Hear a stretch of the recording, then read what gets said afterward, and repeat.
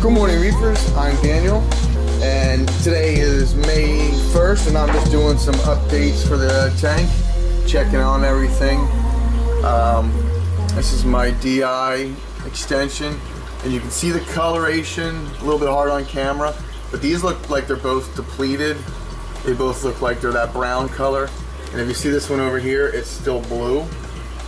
Now my TDS meter is still reading zero, which is pretty awesome, but I'm gonna change these anyway. So I'm gonna change the DI, and this one I'm gonna move over. Now we didn't date it, that's actually older than these two, but because I keep changing these, it's never reaching to this one in time, it's never getting dirty.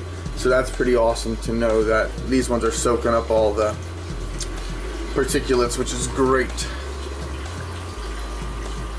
So, awesome.